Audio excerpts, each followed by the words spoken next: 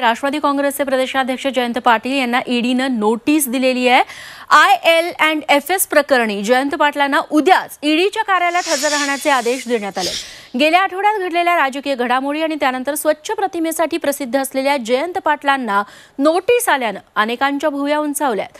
जयंत पाटील यांनी सर्व आरोप फेटाळले असून ते चौकशीसाठी हजर राहणार आहेत. दरम्यान सत्तेचा गैरवापर सुरू आहे अशी प्रतिक्रिया राष्ट्रवादी काँग्रेसचे अध्यक्ष शरद पवार यांनी दिलेली आहे. तर आम्ही विरोधात असताना आम्हालाही नोटीस आल्या होत्या अशी प्रतिक्रिया भाजप प्रदेशाध्यक्ष चंद्रशेखर बावनकुळे यांनी दिली आहे. माझ्या हातात अजून नोटीस नाही आलेली मुंबईला माझ्या घरी आलेली आहे.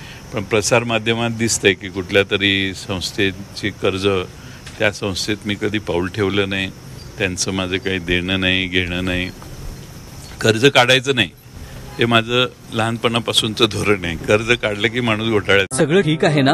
ही सांधेदुखी व्हेरिकोज व्हेन्स डायबिटीज तुमची काय व्यथा आहे? आता चिंता नाही कशाची? नमा होमिओपॅथी आहे पाठीशी. नम्मा होमिओपॅथी आरोग्य संजीवनी. देतो त्यामुळे त्या आय एल एफ एस सारख्या संस्थेच्याशी कुठलंही ट्रान्झॅक्शन माझं झालेलं नाही.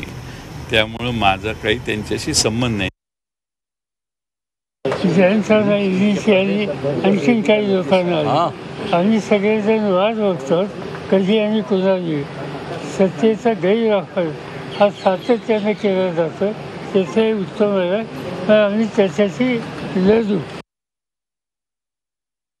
अशा खूप नोटीस येतात महाराष्ट्रामध्ये आम्ही सरकारमध्ये नव्हतो तेव्हा राष्ट्रवादी काँग्रेस उद्धव ठाकरेंच्या काळामध्ये.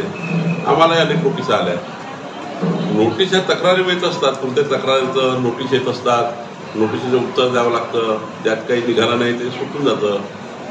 मला वाटते कुठल्याही राजकीय नेत्याला कुठलीही नोटीस कारण तक्रार करण्याचा जनतेचा अधिकार आहे. तक्रार करण्याचा अधिकार आहे. आई भवानीचा गजर म्हणजे झी चोवीस तास.